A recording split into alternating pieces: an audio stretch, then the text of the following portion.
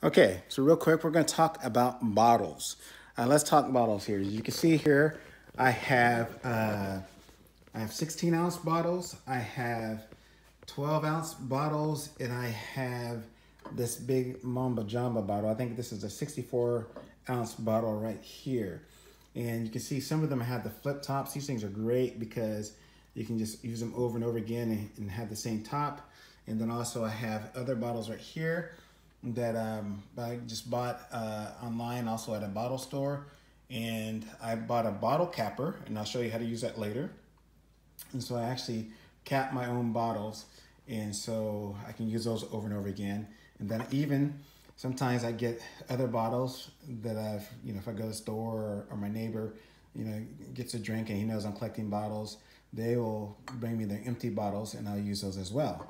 So I know some of you are gonna go, ooh, he's using bottles over and over again. What's up with that? Well, here's what I do with that. I actually do, I do two different things. One thing I do, this is actually a sterilizing fluid right here.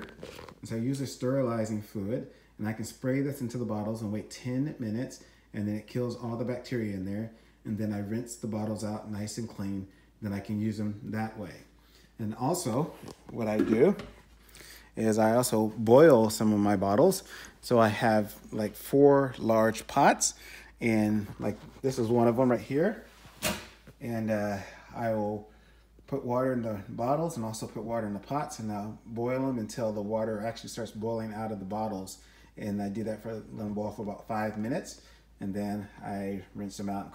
And once they're cool, I can use them that way as well. So uh, that way I get to use bottles over and over again.